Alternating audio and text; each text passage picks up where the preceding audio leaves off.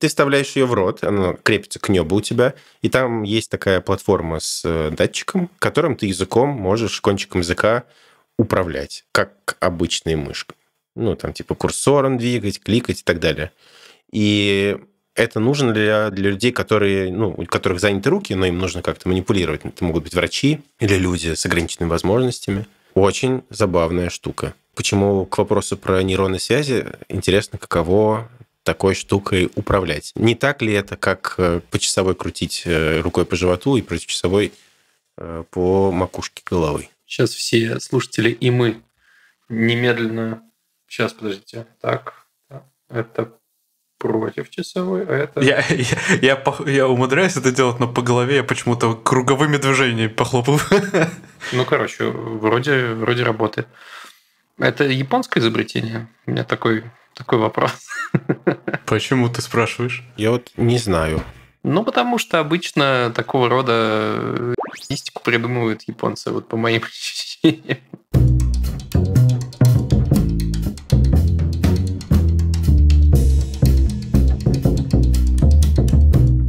Как дела ваши? Э, я сегодня утром шел навстречу с Аней Линской, свежеоткрывшимся пять дней как классном кафе в Ереване и слушал последний выпуск, где был ты, Далер, Лева и, собственно, Аня. Угу. А, короче, как-то прикольно. И у вас был утренний выпуск, а у нас сейчас вот некий вечерний. Вечерний. Да. Дела замечательно, я был в отпуске. Класс, у тебя закончился все уже? К сожалению, да. Хочется еще недельку. А у вас что как? Понятно. Да. Адель. У нас, э, ну, ну, я не в отпуске, наоборот, как бы хотелось бы, конечно, в отпуск, но э, не знаю, я только про погоду, наверное, могу сказать. У нас подразумевалось, что будет уже вот-вот все хорошая погода до 20 градусов там прогревалась, но потом передумала э, обратно. Плюс 10. А это ощущается как холодина? После 20 точно. Вообще нет. Не, не, в целом комфортненько. Ну, в целом, ну, в худи можно по улице ходить, в общем-то. Ну, в худи это хорошо. Они рекомендуют. Это хорошо. Э, вот, а так, а так, ну, не знаю. Ну, прикольненько, прикольненько. Я тут это начал буквально увереннее себя чувствовать на всяких э, ледовских э, делах. Вот это вот все. Круто, круто. Ты уже освоился на работе более-менее новой. Да, да, я, я уже начал впрягаться, когда кто-то что-то чем-то недоволен с нашей стороны. Я такой, типа, да ты что ты, ты, ты сам-то кто вообще? В Швеции, в Швеции есть такое понятие, как испытательный срок? Или если вас берут, то все, вы там до пенсии? Есть, конечно. А, и он удивительно длинный, бляха-муха, 6 месяцев. Мне кажется, это круто, потому что я где-то слышал, что обычно для того, чтобы тебе въехать нормально в задачи, тебе нужно много времени, ну, типа полгода. Грузиться, ну, понять. С этой, этой точки зрения, конечно, имеет смысл, да, но, но... Э, Мне еще кажется, что полгода – это хороший срок, потому что он дольше, э, чем... То есть, когда ты работаешь три месяца, может возникнуть такая ситуация, что сейчас я три месяца постараюсь хорошенько, вот, а потом э, как бы этот спринт проходишь, и дальше у тебя может э, твоя производительность быть не такой, э, который, может быть, от тебя ожидают, и ты, может быть, сам себя вымотаешь. А полгода так ты просто типа работаешь, как будто ты работаешь. Случались в моей практике такие эпизоды. Ну, не, не с моей стороны, в смысле, а когда я нанимал на работу, и да, были ребята, которые втапливали э, вот во время испытательного первых трех месяцев, а потом был прям как, как будто тумблер переключали. Э, и потом мы мучились, короче, какое-то время. Потому что, ну, типа, формально он был э, пройден, э, испытательный срок, а проблемы начинались там, ну, типа, с четвертого э, месяца. Мой экс-коллега э, Федя Борщев, э, известный тех лид, он, у него есть такое правило, что он предлагает сразу поработать две недели перед тем, как с человеком Э, заключать какие-то отношения. Ну, естественно, две недели оплачиваемые. То есть это не, не испытательный срок, не тестовое задание, а он сразу подключает человека на какой-то проект, они вместе просто работают. И по итогам этих двух недель они там, переходят на следующий этап. Это типа на этапе собеседования? Ну, типа, да, такое собеседование. Просто платная работа две недели. А, ну она платная. Если она платная, Да, ну, да, да, конечно, наверное, платная, наверное, неплохо. Если у него еще и проекты есть такие, где можно быстро так включить человека. Подключиться, да. Ну, окей. Ну, на самом деле становится довольно быстро понятно, насколько тебе с человеком комфортно решать Мгм. какие-то базовые вопросы. Типа, как он реагирует, э, ну, как минимум, на то, что, там, не знаю, его представляют все остальной команде. Э, Ну и так далее, и так далее. Так что, ну да, наверное, в этом есть какой-то смысл. Другое дело, что, мне кажется, ну, мало кто согласится на такое. Что пошли такие кандидаты в последнее время, что... Какие кандидаты? Ну, которые хотят гор золотых. Ага. Условно, э, все хотят сразу каких-то гарантий, еще чего-то, и думают, что они уникумы и так далее. Ну, как бы нет, не все, не всегда. Вот я слышал какую-то теорию, типа, а, как-то, что под а, поколение Z переходят какие-то э, перестройки в мышлении составляют, потому что у якобы этого поколения другие ценности, они себя ценят выше, и э, труднее найти людей, которые, ну, стесняются сказать нет и просто из-за этого берутся за любую херню. Э, Правда? Кто стесняется сказать нет? Э, Поколение Z? Нет, э, кто стесняются, наоборот, э, наше и более старшее поколение. Наоборот, э, мы стесняемся сказать нет, чтобы э, не показаться некомпетентными там или э, глупыми, не знаю. Я по себе замечаю, да, в сравнении... у меня просто очень большой круг общения вот э, молодых как бы, девчонок и мальчишек, условно, там, в районе 2000 года. И я замечаю, что они более, более избирательные, они больше ценят там как бы свое время, насколько это соотносится с их ценностями. Вот такие вещи. Конечно, я говорю, может быть, про пузырь, там, условно, может быть, московского круга своего общения. Вот. Но мне кажется, по тем статьям, которые я читал, что это какой-то тренд. И я радуюсь этому тренду на самом деле, потому что, мне кажется, многие вещи, которые я, от которых я отталкиваюсь, когда принимаю какие-то решения, они э, исходят из моих каких-то зажимов, моих каких-то, может быть, комплексов. И я бы, может быть, хотел бы быть более разборчивым. А еще, возможно, потому что мы как бы поколение, которым нужно самих себя как-то обеспечивать и может быть, у нас детство и взросление выпало на более сложный период, а поколение вот это более молодое, оно как бы пока еще имеет возможность, допустим, там, эм, поддерживать себя за счет там, жизни с родителями и так далее. Не знаю. Интересно было бы исследования какие-то почитать про это социологически. Хотел довольно жестко прокомментировать, но все-таки поставлю этот вопрос. Вместо жести это будет сомнение. Вот 20 лет человеку, у него прям уже много ценностей, в которых он уверен. Вот такой у меня вопрос. Согласен, да, но какие-то же у тебя все равно и в 20 лет тоже бывают.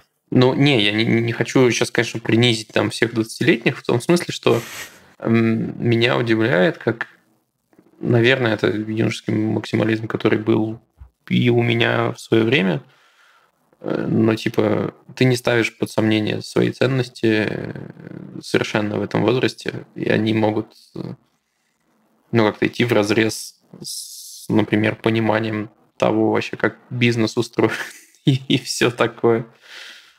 Но это с точки зрения работы, конечно, сейчас говорю. Ну да, ну, как бы стопудово отличаются чуваки. Знают себе, не знаю, цену. Наверное, так как-то. Если откатываться к вопросу нашему, как у нас у всех дела, и говорить про меня, то у меня, мне кажется, какая-то сюжетная арка появилась в нашем подкасте, потому что сейчас третий выпуск, ну, я же э, ищу новую работу, меняю вот это все. В первом выпуске мы с Колей обсуждали как бы мое увольнение в контексте там трудоголизма и все такое. Вот в прошлый раз мы обсуждали мой пост с ребятами о поиске работы и синдроме самозванца. Вот. Сейчас я как бы понял, как будто бы в каком ключе мне хотелось бы поработать, ну, более part может быть, там, не знаю, проектно.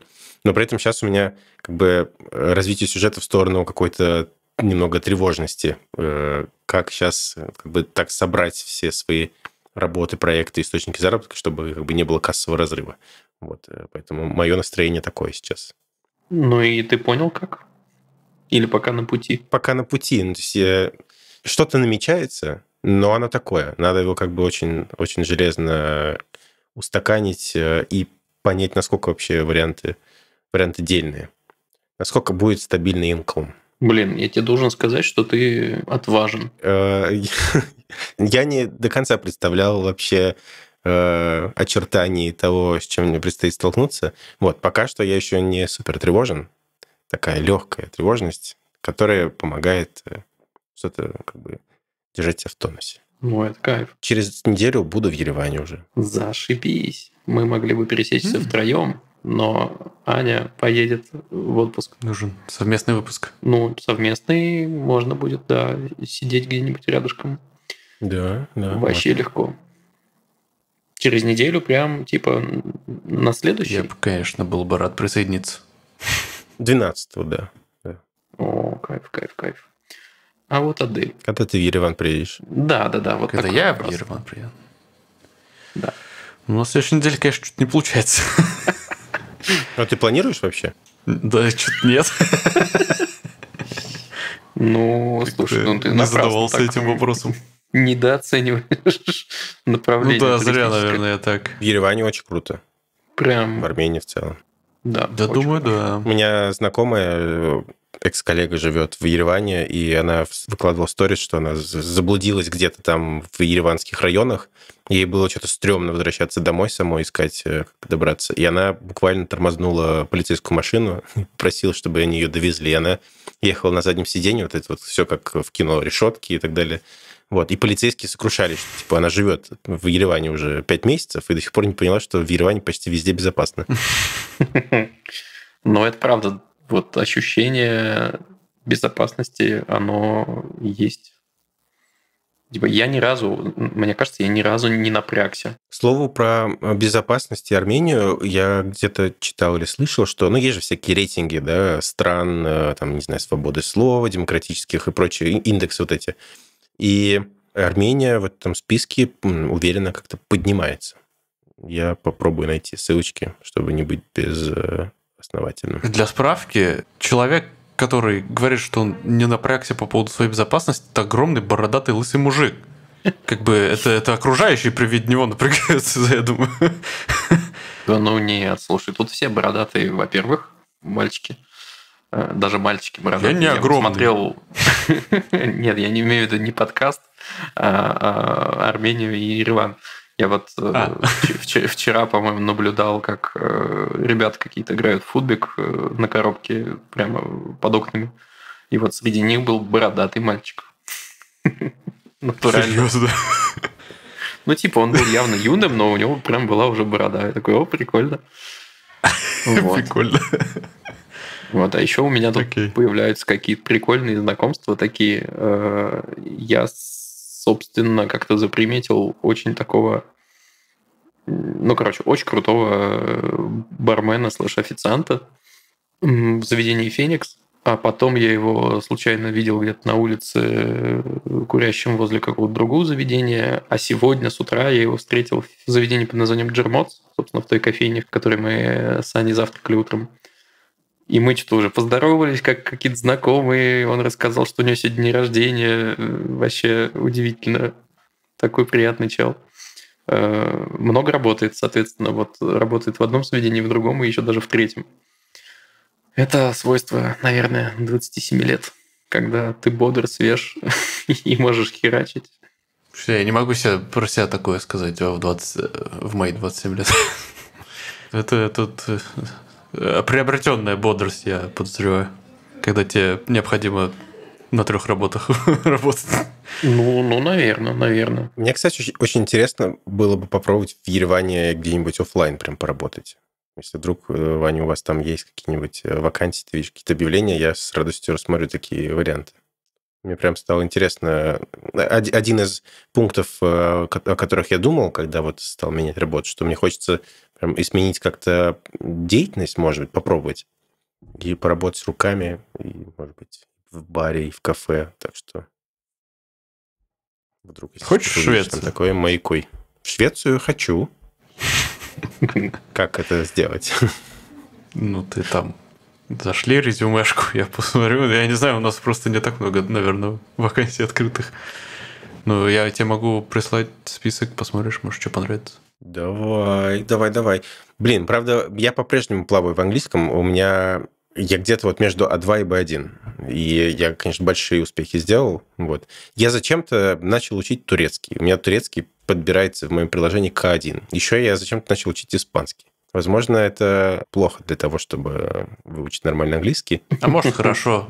Смена контекста освежает память, не знаю. Мне кажется, да, что это скорее начинает какую-то генерацию новых связей в мозгу. Так что ну, это точно не лишнее. Мне кажется, кашу это не создаст нифига. Это довольно прикольно. Про генерацию новых связей. Вот я, простите, если у нас сейчас э, так плавно хорошо шла тема, я перебью. Я принес э, пару тем для обсуждения. Я ну, давай-ка. Стало попадаться, я начал приносить. Э, представлена компьютерная мышь, которая вставляется в рот. Называется mouthpad.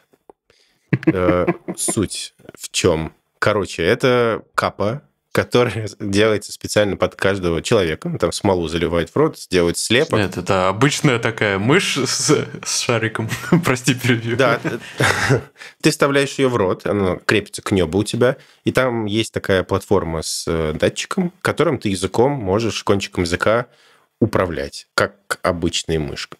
Ну, там типа курсором двигать, кликать и так далее.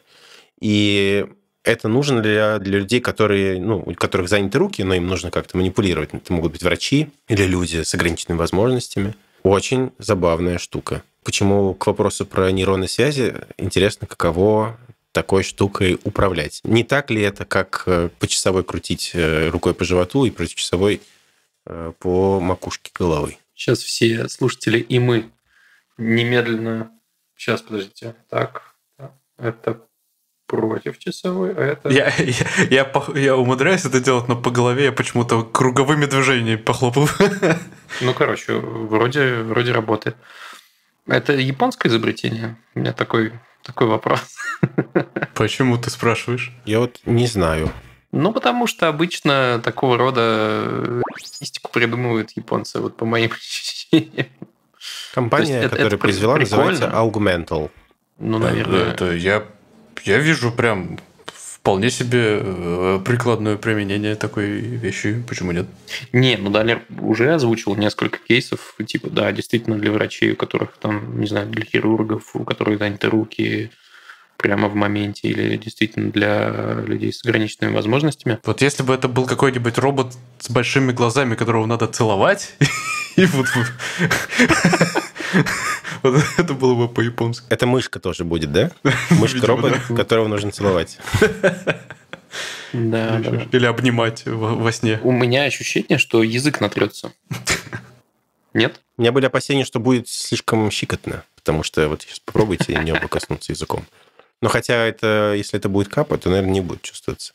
Слушайте, а вы когда, например, впервые воспользовались тачпадом, у вас не было странного ощущения вот на пальцах, что это как-то, ну, не щекотно, но, короче, странно и слишком постоянное вот это ощущение скольжения на подушечках это немножко триггерило первое время. У меня не было такого ощущения, и мне кажется, ты имеешь в виду тачпада и макбука, от них у меня точно не было. Но мой первый тачпад это был какой-то очень-очень старый синкпад, на котором я в Doom играл. И мне кажется, для того, чтобы там делать какие-то движения, тебе нужно просто давить на него, как вот на резистивные эти экраны, которые раньше были до емкостных. У меня тоже не было, но я, наверное... Ну, у меня бэкграунд э, бас-гитариста, так что у меня оба, на обеих руках кончики пальцев ни хрена не чувствовали. Ну, сейчас уже более чувствительный, конечно. Я с другим столкнулся. Я до сих пор, по-моему, путаюсь, когда там двумя пальцами скроллить надо, типа в какую сторону свайпнуть, чтобы страничка вниз прокрутилась. То есть, либо это должно быть вверх, и типа... И типа как? Нет, я в итоге привык, что если я пальцами делаю движение вниз, то и страничка должна вниз крутиться. Да? Нет, Сейчас, надо попробовать. Наоборот. Наоборот. Если я тяну вниз, то страничка должна вверх прокручиваться. Вот. Вот так, да. так правильно. Ну да, она прокручивается вверх, потому что ты сдвигаешь ее как бы вниз. Да, да, да. Но, но, но сугубо такой логической точки зрения, что никакого смысла не имеет, правильно?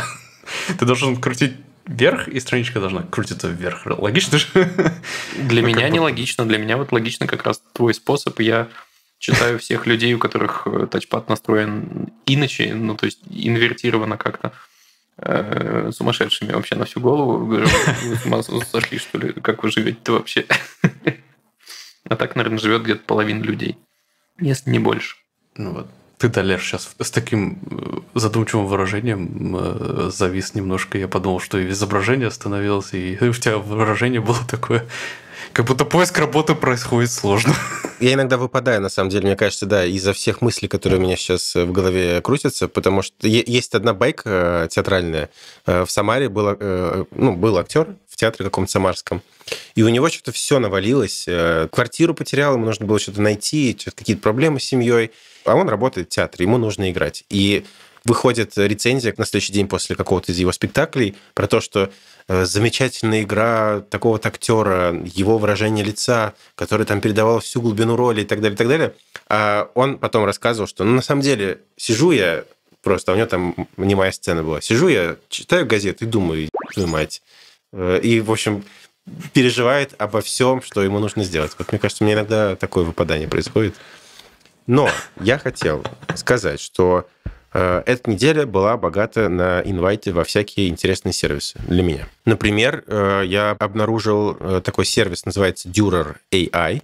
Его, мне кажется, делает Тоня Самсонова. Это бывшая работница Яндекса. Она сделала The Question, и потом она уже присоединилась к Яндексу развивать этот сервис как Яндекс.Q.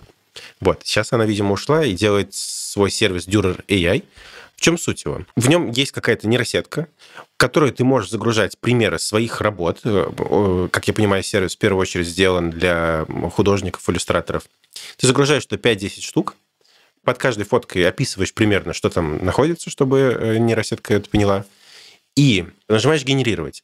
И он тебе из этого пака создает твою собственную модель, которая в будущем сможет по твоему промпту, по твоему запросу рисовать и выдавать изображение вот в стиле которую ты в нее загрузил. Это как Midjourney, только у тебя куча разных Midjourney, э, рисующих в разном стиле. Ты можешь э, сделать несколько э, как бы, моделей для разных своих стилей, чтобы в них рисовать. И если посмотреть на примеры работ, ну, примеры очень прикольные, мне кажется. Если можно вот такое делать как бы потоково, это круто.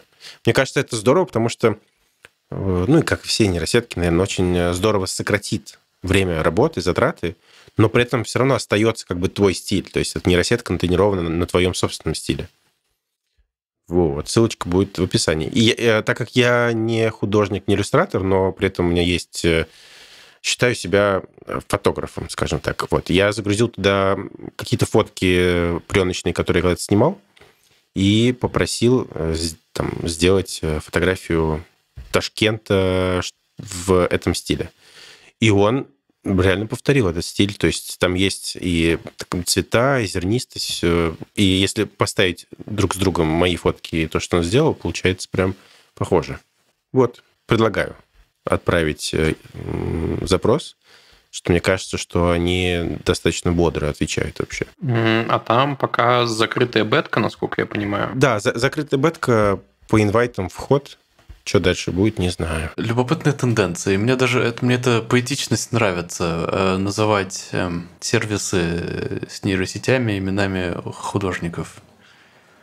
Я с Дюрером знаком по э, этим выпускам на Ютубе Oh My. Э, кстати, рекомендую. Очень интересно. Просто мне нравится вот эта вот концепция.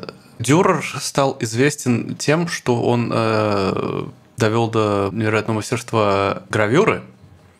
И он э, занимался тем, что он делал гравюры, и при помощи этих гравюр... Э, это не то, что гравюры, это когда ты вырезаешь оттиск э, на металле или дереве, а потом э, наносишь на него краску и таким образом картины отпечатываешь. Вот, и мне даже это интересно, мне нравится вот эта поэтичность, когда ты нейросеть, которая на основе твоих, грубо говоря, оттисков, да, делает э, что-то такое же очень похожее. Не, очень прикольная аналогия на самом деле. Тут я зашел, кстати, к ним э, на сайт, э, кликнул на ссылку этика, и там написано, что вот эта модель учится на ваших изображениях, которые принадлежат вам, И те изображения, которые она генерит, насколько я понимаю, тоже как бы после этого принадлежат вам. Потому что оно училось на ваших изображениях. Довольно интересно и поднимать довольно интересные вопросы, ну, в том числе о правах на вот это все. И, кстати, заодно, э, вероятно, решает вопрос обучения. Другое дело, что оно же предобучилось на каком-то большом массиве разнообразного всего. Вот будет ли оно типа подмешивать э, что-то, что она знала, ну как бы до тебя, грубо говоря. У нее есть какой-то опыт, потом ты ей показываешь, а я вот хочу вот так вот. Довольно интересно. Да, интересно, что в ней. Может быть, она просто умеет там словно рисовать ноги. Я понимаю, что такое нога и как она там рисуется. А твой стиль уже дополняет. Но это все, конечно, предположение какого-то разбора там, к сожалению, не было, как это все работает. Так, а ты говорил, что инструментов несколько? Да, второй инвайт. Э, я пользуюсь э, приложением Raycast. Это такая замена Spotlight. Похоже чем-то на Альфреда, только бесплатно. И еще здесь можно каким-то образом э, использовать его для команды. То есть, видимо, вы, у вас там могут быть какие-то профили. Прошу прощения, я просто не сразу вкурил. Я только по Альфреду понял, о чем речь вообще. Для немаководов а, нужно это. Да-да-да, все, я, я понял, сори. Не чекнул свои привилегии. Э, я говорю про Spotlight. Э, Spotlight – это такая штука, обычно вызывается по команд пробелу, либо по win пробелу. Э, в Windows, потому что такая штука тоже теперь появилась, кажется. Это строка, которая упрощает доступ к разным частям компьютера. С помощью этой строки можно искать по файлам, можно там, считать какие-то простейшие вычисления, открыть приложение, выполнить какую-то команду и так далее, и так далее, и так далее. Э, стандартный Spotlight э, в целом неплох, но вот этот вот э, Raycast, он предлагает гораздо больше разных прикольных фич. Начиная от простейших, типа там сделать всякие закладки, и более просто приятного вида внешнего и встроенных каких-то еще утилит э, заканчивая приложением магазином расширения. Условно говоря, я подключил Zoom, и вместо того, чтобы, когда мне нужно сделать новую, новую запись, новую ссылку, я иду, открываю Zoom, ищу, где там эта кнопка «Создать новую встречу» или там «Запланировать», нажимаю и так далее, и так далее. А я просто нажимаю Command пробел, пишу Zoom, и он мне уже предлагает сразу либо старт-митинг, либо там э, запланировать его. И таких штук здесь полно. И можно писать свои собственные э, расширения. Это просто, по-моему, обычный JavaScript, вот, который тебе каким-то образом упростит твою работу с компом. И эта штука бесплатная, для команд она платная.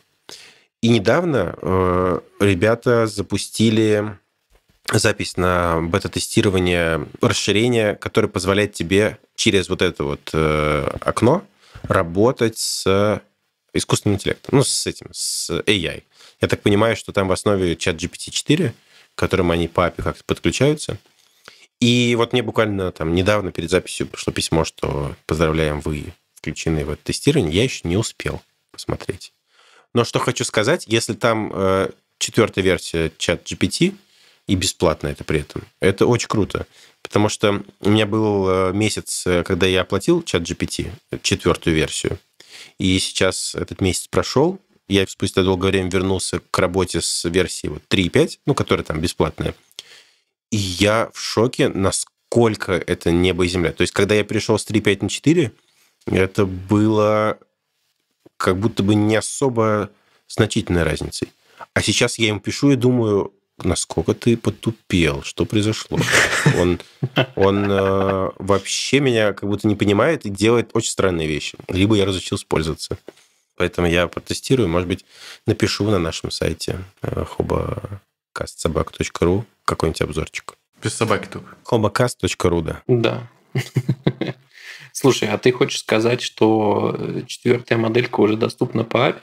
Получается так? Да, да. Они ее раскатали, вот интересно. По-моему, до последнего еще была доступна 3,5 турбо, а вот четвертая было бы круто, надо попробовать. Я не помню, но, по-моему, там тоже какой-то по запросу будет тестирование. Потому что я в Твиттере видел периодически скриншоты всякие, типа «Поздравьте, я получил доступ».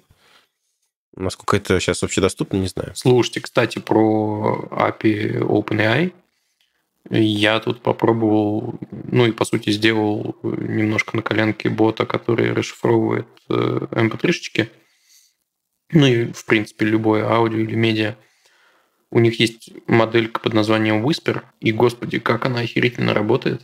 Я подсовывал ей разное, ну, там, начиная, естественно, с интервью, что мне там удобно в работе, заканчивая, например, записями, очевидно, херового качества Ленина с херовой дикцией, и оно, черт побери, ну, работает, оно ставит знаки препинания, и вот это все разделяет все это на предложение.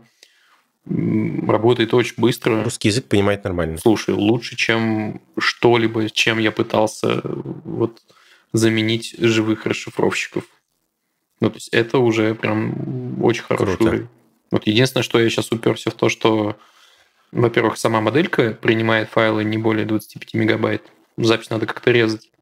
Но это решаемо. И другой вопрос, что ну, я, естественно, сделал какого бота в Телеграме, а стандартный API-сервер э, Телеграма принимает файлы до 20 мегабайт.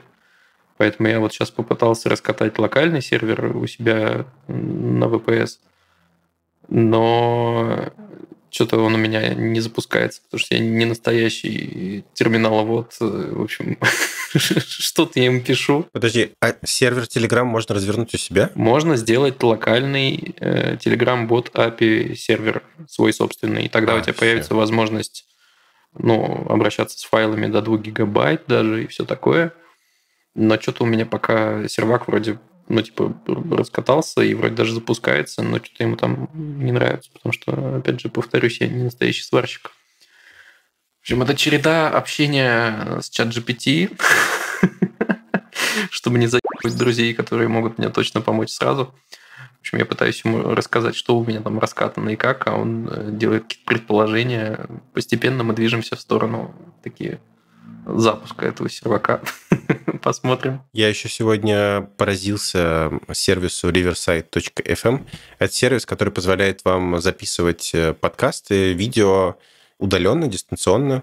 Как бы ты как хост, к тебе могут подключаться гости, и это все пишется сразу в облако разными дорожками, это все синхронизируется по времени между собой, ну, потому что задержки все синхронизируются.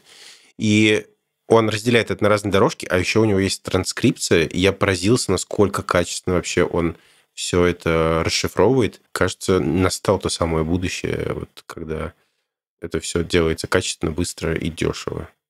Я помню буквально пару лет назад, год, когда каких-то таких нормальных решений не было. Особенно вот э, по канально разные дорожки чтобы можно было... К слову, кстати, о решении, которое они используют для э, speech-to-text, это такие Whisper и есть. Реверсайт вот этот вот? Да-да-да, у них написано 10 апреля, где-то, видимо, в их бложике, что Riverside угу. uses Whisper. Круто. Я так понимаю, это...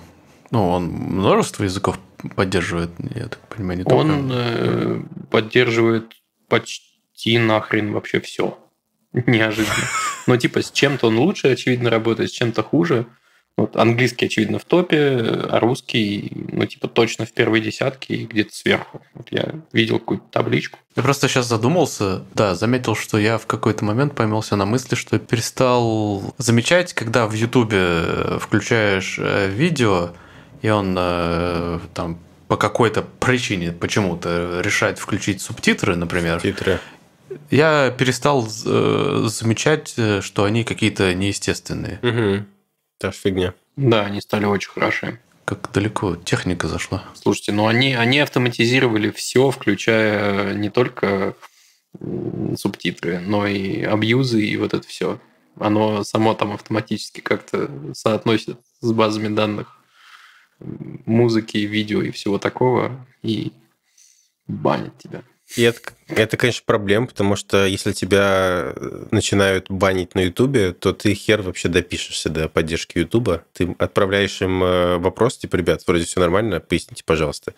Они тебе пишут, мы проверили, все так, пока, и все. Это действительно да. очень большая проблема Гугла и Ютуба в частности. Слушай, вопрос про реверсайт. Ну, ты же некий подкаст записывал с его да. помощью у тебя не было боязни, что все придется. Было, было боязнь. Особенно я, то, что я первый раз сегодня пользуюсь. Да, я всегда с боязнью подхожу. Ну, вроде нормально было. Меня, э, меня что утешало? Они очень классно сделали, что у них в интерфейсе была кнопка э, uploading, и она всегда была типа на 99%. 99% там uploading. И я понимал, что, видимо, он как-то пишется, и в прямом эфире все это загружает. Но что было бы, если бы у меня оборвался интернет, Wi-Fi, что бывает периодически, я не знаю. Надо, мне кажется, проверить. Давай попробуем записать что-нибудь и, не знаю, специально э, вырубим Wi-Fi, что-нибудь Оборвать. Угу. Ну, на самом деле, довольно интересный инструмент. Типа, может, нам надо уже всем сразу, чтобы там не мучить никого э, монтажера, чтобы все монтировалось само. К сожалению, он достаточно дорогой. Там типа 15 баксов, это 5 часов в записи в месяц. В целом, плюс-минус у нас так и выходит. Ну, как бы да, Можно мы не, не переборщим явно. Мне кажется, будет даже подешевле, наверное. Слушайте, а есть же еще яичная приблуда у Adobe, которая нарезает, э, ну то есть у нее есть набор дорожек с аудио и видео. Ну, аудио прикреплено к видео, они залинкованы каким-то образом. Ну, например, не знаю, это MP4 сразу. Или там MP4 плюс вавка. Неважно. Так вот, оно все это видит и само вам монтирует то, как этот диалог шел. Типа переключает камеры, если там много камер направлено на конкретных людей, убирает паузы и все такое. Это, по-моему, какой-то плагинчик для премьера. Это прям мощно. Ну, то есть то, на, на что уходят там часы, есть видосы, посмотрите просто. Ссылку приложу, ну, типа на видео, где рассказывается о том, как это работает – и там прям в режиме реального времени дорожка такая нарезает. И, в общем, за, за несколько минут у тебя готовый выпуск. Ну, почти готовый, магия конечно. Там что-то, что-то подвигаешь. Да, блин, магия. Считай, а, а, отмечаешь только моменты, которые ты нормально говоришь, но надо нахер вырезать. Точно. Да, да. Это прям бомбически. Я думаю, что нам надо туда куда-то идти и пробовать всю эту приблуду, потому что, ну, во-первых, это очень интересно, а во-вторых, это дешевле и быстрее, и, возможно, у нас останется время и силы на что-то более интересно. Я тут что это да, хочу мотивировать. -то. Это же отличный э, рычаг воздействия на наших дорогих э, потенциальных э, донатеров и патреонов. Давайте мы, типа, мы все равно на ваши деньги это делаем. Давайте мы сделаем какую-нибудь пробную запись вне расписания, грубо говоря, и и выложим эксклюзивно. И посмотрим вообще, говно не говно. Да, кстати, почему нет? Давайте попробуем. И там и реверсайт, может быть, и этот самый вот этот плагинчик. Посмотрим, что получится. Я вообще прям за. Только сразу, да, предупреждаем, у нас этот вопрос э, с качеством видео не решен. У меня всратая десятилетней давности вебка. Ну, Далер, кстати, выглядит просто э, сногсшибательно. Спасибо большое. Мне а, кажется, а, свет, свет Ваню плохо видно, потому что ему нравится интимность. Вот. Вот так, так. нормально тебе? Пипец, я понял, почему. У тебя пересвечивает нахер сразу. да, у меня быстро стемнело. Это минус того, что мы по вечерам записываемся. Слушай, я не знаю, как бы, какие там дифирамбы надо пропеть Logitech, но десятилетняя камера дает очень хорошую картинку. Очень хорошо, да. Прямо большие молодцы, чуваки. Я передам. съездишь э, в какую-нибудь Лозанну, в Швейцарию, штаб-квартиру к ним, и скажешь, ребята, вы молодцы. Пацаны говорят, зашибись. Да-да-да. Все, у меня закончились э, приложения, про которые я хотел сегодня рассказать. Ну, вообще я шел э, на запись с мыслью о том, что я могу рассказать. Могу рассказать про опыт путешествия на тачке по Грузии – есть э, ну, просто набор каких-то наблюдений. Во-первых, э, дороги кайф в основном. Прямо очень хорошее покрытие, очень хорошее качество и все такое. Плюс чуваки э, вместо существующих довольно неплохих серпантинов строят более прямую дорогу, пробивают очень много тоннелей. И вот пока едешь, например, от Тбилиси до Боржоми, на некоторых участках ты едешь вот по извилистой дороге и видишь, как рядом строят какие-то ебейшие просто эстакады, рубят тоннели и все такое, и все это будет прямее, быстрее, прямо хорошо. А те шоссе, которые существуют, они по две полосы в каждую сторону. Там можно ехать 110 в основном. Все херачат где-то 120, потому что вроде как 10 километров это без штрафа превышение. Ну, короче, просто врубаешь круиз и едешь достаточно таки с кайфом. Это довольно быстро наскучивает, потому что она в основном прямая. И, честно говоря, я в первый раз вот так долго ехал на круизе ты что-то едешь и едешь, типа час прошел, как бы ты просто сидишь и подруливаешь. Это немножко странно. Даже немножко притупляется внимание, потому что ты что-то уже совсем расслабился и просто там пальцем на руле немножко двигаешь и все. Вот. А, что хочу сказать про Боржоми. Охренительный парк между таких достаточно крупных гор. Там течет речка там можно ходить, мне кажется, весь день. Попил оттуда? Я пил. В Боржоме не все воды целебные. Я пил из источника. Источник э, по вкусу похож на боржоми, но он при этом не газированный. Которая вот такая, типа, вонючая, короче, боржоми, или такая фильтрованная? Да-да-да, я понимаю, Не про что пахнущая. ты. Вонючие это и синтуки. Не-не-не, есть просто версия боржоми. На самом деле есть версия боржоми. Э, в каких-то немножко других бутылках она даже продается. Она типа вот такая лечебная-лечебная. Э, Она, конечно, не очень вкусненькая. И она, как говорят, провоцирует тебя на более частое посещение туалета. Э, Вот. Нет, я... Вот мы зашли в парк, он где-то прямо в начале парка стоит источник, можно подойти с любой тарой, налить туда этой воды. Она немножко тепловатая, солоноватая. Ну, короче, это боржоми, просто без газиков. Ну, такой experience. Вот если вы пробовали комнатной температурой или чуть выше выдохшиеся боржоми, вот это оно. Ну, либо вам нужен себе. этот карбонатор или что-то в этом роде. А что она, оказывается, из источника не газированная течет? Не, вообще же есть типа воды слегка подгазированные естественным путем, но кажется, это не тот случай. Хотя, может, я могу ошибаться. Но, в общем, за что купил, зато продаю. Видел источник в Боржоме, называется Боржоме. По вкусу вроде как Боржоме. Но, видимо, э, не очень... Да, не очень она газированная. Но там есть какое-то такое легкое ощущение покалывания на языке, но это все. Вот. А потом мы поехали в Батуми. Собственно, это была цель путешествия всего. И, во-первых, сочетание очень похоже на азиатское сочетание. У вас на фоне какое-то морька, горы, зелень и высотки. Вот все эти известные высотки в виде спирали, высотки в виде каких-то кружочков, э, просто прямые такие рубленые какие-то квадратики. Визуально очень круто. Старый город очень классный. Всем советую зайти в заведение к моему знакомому Владу под названием Чача Тайм. Там великолепно. Можете Звучит попробовать. прекрасно. Там, собственно, чуваки специализируются на чаче и Ну, на коктейлях на чаче. Э, Это прямо очень хорошо. Я попробовал Old Georgian. Это вариация Old Fashion только на чаче.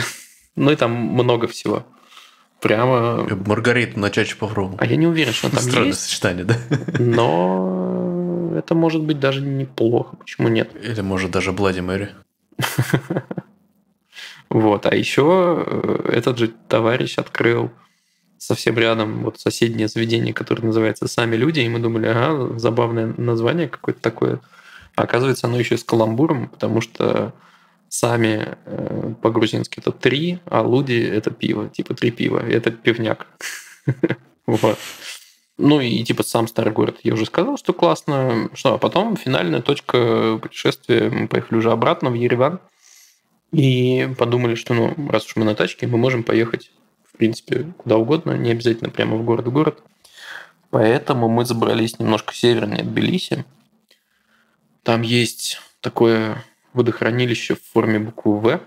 И вот прямо на перемычке этой буквы э, есть прямо небольшая деревушка. И вот в стороне от, эти, от этой деревушки глэмпинг из трех шатров, состоящий буквально. И мы попали в такую просто какой-то невероятный шторм, грозу и, и прочее, прочее. Заехали мы туда довольно легко, а выезжали, конечно, на следующий день, потому что все развезло. Еще такая... Не, не просто гравик, по гравике нормально было ехать. Там была такая еще насыпанная свежим прям камнем какая-то дорога, в которой машина увязает постепенно. В общем, нас э, тащил какой-то Мерседес э, полноприводный какое-то время. Трос порвался. А это еще прокатная машина. Было весело, короче. Вот, всем советую, тоже оставлю ссылку, потому что, короче, очень, очень понравился сам глэмпинг. Очень приятный чувак его делает. По-моему, сам же в этом глэмпинге и живет. Эм, оставлю ссылку на Инстаграм. Там, во-первых, просто очень красиво, очень прикольный чувак. И очень прикольные шатры, в которых есть, ну, типа, по сути, спальня, ванна, туалет и микрокухня, и все это умещается там, не знаю, сколько там квадратов, но по ощущениям не знаю, может, 25. Видел твою инсту, подтверждаю. Выглядит ошибись. Очень классно, просто невероятно. Особенно если попадаете в погоду, когда все вокруг сверкает, капает, барабанит по этому всему натянутому шатру. Очень классно. Вот такие выводы. Вывод какой? Грузия – это не только Тбилиси. Вообще Грузия – мега кайф. Если есть вариант взять э, прокатную машинку, берите и колесите, там очень здорово. Круто. Я что вспомнил? Сегодня у меня был необычный э, опыт. Компания начала поощрять, оказывается, относительно недавно. В общем, э, среди текущих коллег они призывают и поощряют брать новоприбывших коллег и вводить их на ланч. Вот, сегодня меня э, отвез э, такой э, чувак на, на ланч, я ему показал место, которое мне нравится, он сказал, давай, давай, пошли. Пообщались с ним, в общем, интересный парень. Он родом из Швеции, из города Гетеборг. И у него интересная история, он там более 10 лет работал в рекламе, причем, ну, просто интересно, мы пошли э, в турецкий ресторан, потому что он просто, мое почтение, прям там очень вкусно. Я ему говорю, это аутентичное место. Мой коллега с предыдущей работы из Турции прям подтвердил, типа, это лучшее турецкое заведение в городе. Я ему верю. Вот. Э, и он такой, а, да, я вот, э, типа, когда в Турции жил, там, типа, все места пахли точно так же. Я такой, ага, интересно. И, в общем, так э, начал так расспрашивать. В итоге чувак в один момент просто решил, я, говорит, хочу японский изучить. И полетел в Японию, прожил год в Японии, изучал японский. И я потом такой, ну, блин, ну, прикольно, впечатляет, хорошо. А потом про Турцию его спросил. Ну, вот, ну, ладно, в Турции он несколько лет там по работе жил, хорошо. Потом он мне рассказал, что вот он занимался рекламой 10 лет, а он работает, э, ну, мой коллега, соответственно, он работает в гейм-индустрии теперь. Я такой спрашиваю, а как вот это вот так вот произошло?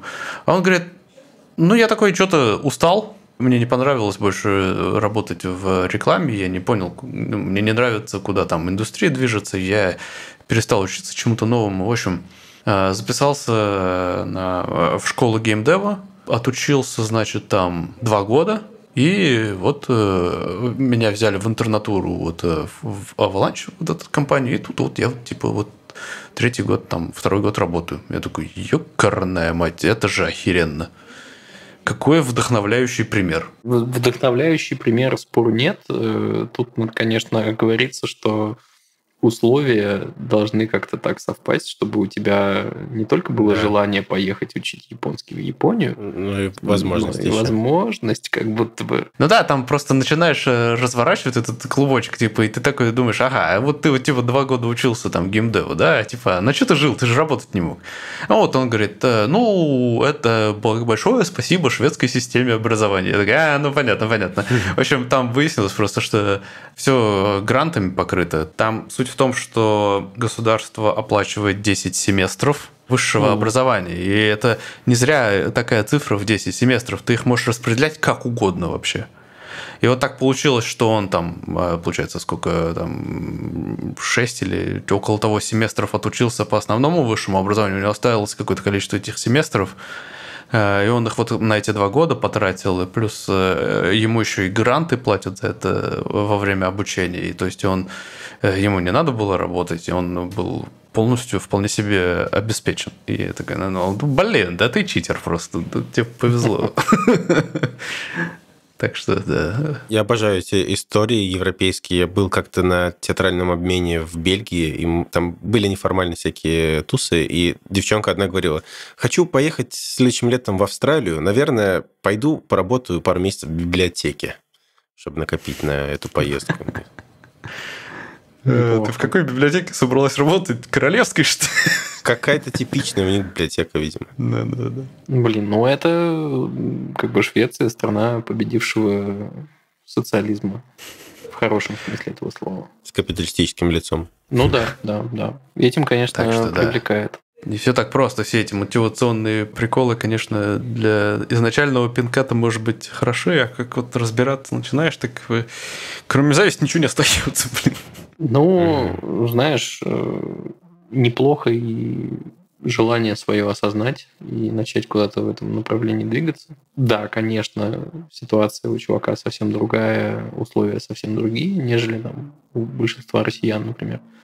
Но мотивирует, мотивирует. Типа, можешь ли ты менять э, направление развития? Конечно, можешь. Вон у нас Далер тоже такой же. Сидит, хохочет. Да вон, может, еще это моим коллегой станет. А, спасибо тебе вообще за предложение. Я переведу свой CV на английский и пришлю тебе. Если ты не пошутил. Нет, я не пошутил. А у тебя есть профиль на LinkedIn? Есть. Мне надо его тоже на английский перевести. Я это сделаю за пару дней. Ну ладно, я тебе пока список вакансий скину. Спасибо. Вопрос э, напоследок. А ты когда в Швецию переезжал, у тебя какой был язык? Э, уровень какой? B1, B2, C1? Я никогда его не измерял. Я даже сейчас не знаю, какой у меня. Ну, ты просто хорошо, спокойно говорил, и все. И понимал. Да? Да? Ну, без, без стресса. Ну, безусловно, я стрессовал. Mm. Потому что ну, до этого продолжительное время с иностранцами я не общался. Только там случайно несколько раз э, там в месяц, может быть. Ну, не знаю. Я, ну, по крайней мере, формального общения. Я не переживал за свое неформальное общение, потому что знаю, с кучей людей играл в основном иностранцев. Mm-hmm. Cool, cool, Но в целом, я тебе скажу, по этому примеру, э, особенно здесь, в Avalanche, я просто заметил, что здесь намного более, ну, можно, наверное, сказать, инклюзивная э, команда собралась, потому что очень большое количество людей из очень большого количества разных стран из Индии, из э, Пакистана, из э, откуда-нибудь э, из Азии, не, не знаю даже каких частей. У нас есть люди, которые живут в Нью-Йорке. И так как получается, что мой круг общения настолько сильно обогатился, я, я заметил, что, ну, в общем, это надуманная проблема, скажем так, в плане ясности языка или манеры изъяснений, скажем так. Особенно, когда такой широкий набор разных э, представителей национальности. Э, в общем, все это в конечном итоге может сводиться уже к банальным таким словам, не связанный структурой в предложении набор слов, mm-hmm. которые mm-hmm. в общей совокупности могут сформировать какой-то смысл.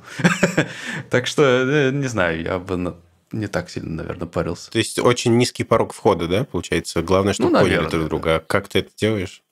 Слушай, ну ты меня прям вдохновляешь. Спасибо большое. Есть еще такой нюанс, когда особенно... Э, э, э, я понимаю, когда... У меня был очень серьезный стресс, когда я разговаривал с моим менеджером шотландцем, потому что у него же родной язык, да. Но когда ты разговариваешь с другими иностранцами, шведы, кстати, в том числе, хоть их уровень очень высокий, ты тоже как-то сильнее расслабляешься, потому что для вас обоих это не родной язык. Угу, угу. Понял. Ну и слушайте, говоря о шотландском, я что-то несколько раз за последний месяц, наверное, встречал то ли Reels, то ли еще что-то, где кого-то шотландского чувака на улице интервьюирует и задает вопрос ну, на английском английском, а он отвечает, соответственно, тоже на английском, но со своим э, говором. И чувак переспрашивает типа раза три или четыре тот, который с микрофоном, говорит, я не понимаю, что ты ответил. Э, ну и, кстати, для шотландского часто субтитры еще подкидывают на телеке даже в Британии. Так что... Жесть. Я, кстати, тоже ведь на этом э, всем тоже вырос я с представлением, что шотландцы, у шотландцев свой какой-то собственный язык. И он, кстати, у них есть на самом деле. Но я в том смысле, что мне повезло, видимо, попасться на очень неправильного шотландца, потому что у него был академический британский английский. О, что... ну кайф. Ну что, на этой, мне кажется, воодушевляющей ноте можем сегодня Очень, расходиться. Да. Да, но давайте сначала напомним, что у нас э, есть э, чат, куда всех мы призываем вступать. Э, наш любимый хоба-чат. Очень оживленный, очень радует меня читать его. Такие обсуждения интересные бывают регулярно. И призываем тоже всех поставить нам оценочки, типа звездочки в Apple подкастах или там в Castbox е. Можно наверное, лайкнуть, не знаю, в общем, в избранные добавить. Комментарии оставляйте, безусловно. Нам любая активность э, приятна. Вот, и для тех, кто хочет нас как-то поддержать, у нас есть Boosty и Patreon, так что, да, призываем вас тоже и на них подписаться. Это Долер очень усердно работает над тем, чтобы разнообразить и обогатить как-то контент, который доступен для наших подписчиков. Э, вот, вот мы в том числе типа наполовину анонсировали такой псевдо-тестовый выпуск э, с видео, ну, не знаю. Да, да, надо будет реализовать это. Да, в Boosty есть э, разные рубрики. Например, там вы можете получить доступ к телеграм-каналу с мемами или телеграм-каналу с э, разными находками. Отборные мемы, кстати, рекомендую. Спасибо. Да, да, стараюсь. Еще хочу сказать, что у нас есть сайт hobocast.ru, и я как-то очень угорел по этому сайту. Во-первых, э, там появляются, э, тоже публикуются выпуски наши, и там собираются ссылки, все очень удобно, аккуратно сверстано. И еще, да, мне просто нравится. Я как-то по чуть-чуть, по чуть-чуть его всякими прикольными штуками улучшаю. Вот, поэтому, если что, заходите, почитайте, посмотрите, покликайте. Вот, наверное, там что-нибудь еще интересное появится, я потом отдельно это анонсирую. Спасибо, что послушали нас. Всего вам хорошего, хорошего настроения. Пока. Пока-пока. Пока-пока.